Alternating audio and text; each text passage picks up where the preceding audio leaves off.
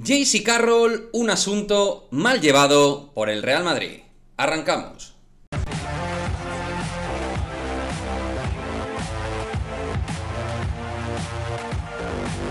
¿Qué tal chicos? Muy buenas, bienvenidos a otro vídeo de Madridismo al Día. Pues eh, efectivamente quería hablar de todo el asunto de JC Carroll, porque como ya sabéis, eh, pues hace pocas horas el Real Madrid ha quitado de su página web la imagen de JC Carroll, que aparecía dentro de la plantilla del Real Madrid, sabiendo que JC Carroll no iba a jugar ya este año en el Real Madrid, se seguía manteniendo a JC Carroll y la verdad, sinceramente, a nivel de imagen como club, me parecía bastante lamentable tener a un jugador que no pertenece a la disciplina del equipo, que ya no estaba jugando en el Real Madrid. Y es que es verdad que ya sabéis que el Real Madrid le presentó una opción en forma de plan de renovación de un año, una temporada más, a la cual desde Utah JC Carroll no respondió. Y a partir de ahí, pues se quedó la casa sin barrer. Y el club Digo que es responsable de todo esto porque al final es el que envía esa imagen pública. JC Carroll habrá tenido o no respuesta, pero el que tiene que tener claras las cosas es el club. Cuando el jugador no te responde, tú no puedes ser que dejes a JC Carroll en la página web del Real Madrid. Y luego, aparte de que deportivamente, pues realmente se ha llevado mal, se ha manejado mal con el jugador extranjero que más camisetas ha gastado en el Real Madrid en su historia. Un jugador único en su especie. Un jugador extraordinario. Yo ya sabéis que soy un auténtico devoto de Jaycee. Pero ninguna de las partes lo ha manejado bien. Y como digo, al final el jugador se puede comportar mejor o peor en relación a lo que consideramos los aficionados. Yo el primero eh, me hubiera gustado una temporada más de Jaycee, a tenor de que, el, club no ha buscado ningún tipo de alternativa respecto a un escolta tirador como puede ser él. Pero obviamente, pues eh, creo que se ha actuado de manera absolutamente inapropiada porque el Real Madrid es el Real Madrid y su imagen, su imagen como club. Y en ese aspecto, eh, pues realmente una imagen bastante, bastante pobre desde mi punto de, punto de vista. ¿Aquí qué es lo que ha pasado? Pues que desde luego debe ser que la comunicación entre ambas partes no ha sido nada fluida. Entiendo que la relación eh, se volverá a tener de manera dinámica, fluida.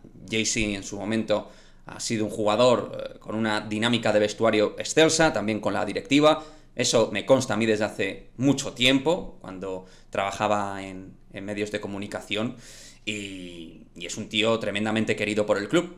Pero, insisto, para que todo esto haya ocurrido, desde luego ha habido una mala praxis, ¿no? Por parte del Real Madrid. Seguramente JC Carroll, ¿no? Que ha estado a otras cosas, pero él estaba en su derecho. Si al final él no ha dado respuesta, es por algo no ha respondido a la oferta de renovación, que podía haber respondido o no, pero oye, él tiene su derecho a hacer su vida, terminaba su contrato con el que le vinculaba al Real Madrid y él ha querido hacer vida privada con su familia, que es algo que también a él le preocupaba en su momento, porque ha vivido momentos donde no podía ver a su familia y vaya, al final ha priorizado y eso es algo bastante humano que priorice por su familia. Pero el club profesional y deportivo, que es el Real Madrid, ahí tiene que actuar de manera correcta. Por una parte, no teniendo a JC Carroll en la página web, que es algo absurdo, y por otra parte, haber encontrado un sustituto deportivo para no tener el déficit que tenemos en el puesto de escolta a día de hoy, sin tener un especialista como es JC Carroll, un tipo de jugador que necesita cualquier equipo top, al menos eh, en mi manera de, ver el,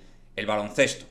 Ya sabéis que de cara al plan de la próxima temporada, para mí, el Real Madrid necesita uno o dos bases, un escolta, un alero, un 4, es decir, 4 o 5 movimientos donde se eh, también determina, a mi juicio, la necesidad de un escolta puro a título ofensivo con esa capacidad de anotarte muchos puntos en, poco tiempo.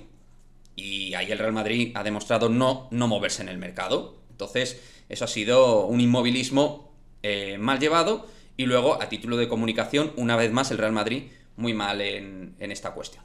Así que nada, quería comentarlo, dejar mi opinión respecto a un asunto que se ha llevado mal por todas las partes, pero al final el primer responsable para mí es el, Real Madrid. Cuando un jugador termina contrato, termina contrato. Si este no te ha respondido tu oferta de renovación, pues no tiene ningún sentido eh, tenerlo en la página web del primer equipo como si estuviera jugando en el Real Madrid. Son cosas bastante evidentes. Desconozco los pormenores, los detalles, pero la realidad es esa. Y ahí no hay pormenores. JC Carroll no ha jugado en el Real Madrid. JC Carroll no ha renovado por el Real Madrid. JC Carroll no estaba en Madrid. Chico, pues ya está. Creo que se tenía que haber actuado con muchísima más celeridad y no a día, a día de mayo. En fin. Bueno chicos, dejadme vuestra opinión al respecto del asunto JC Carroll, si consideráis que el club lo ha llevado bien, mal, regular, me dejáis vuestra opinión y nos vemos en el próximo vídeo. Adiós.